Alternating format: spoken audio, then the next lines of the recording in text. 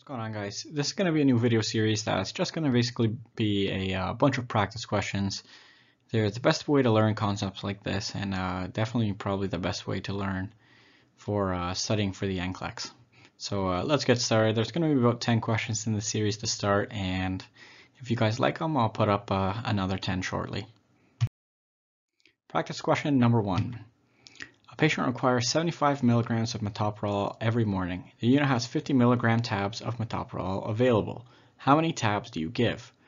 So let's pull up our formula here and let's get started. Let me just pull up my pen here.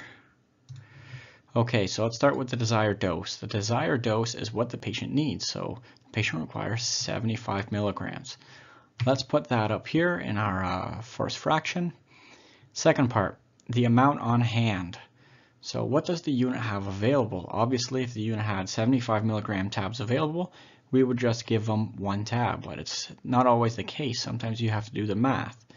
So in this case, the unit has 50 milligram tabs available. So we're going to put that in the bottom half of our fraction right here. So moving on, the next part is the vehicle. In this case, it's rather simple. It's tabs, but in future videos, it's going to be more complicated. It's going to be like liquids, milliliters uh, pre-filled syringes, patches, and the like. So we'll try to go through as many different uh, scenarios as we can. So let's start with this. So 50 milligrams per tab. So obviously it's going the vehicle is going to be one tab. We're going to start by solving this. So the answer has already popped up. 75 milligrams divided by 50. If you're paying close attention to the math, the milligrams cancel out. 75 divided by 50 gives you 1.5. You're going to multiply that by the vehicle, which is one tab, and that's going to give you 1.5 tabs.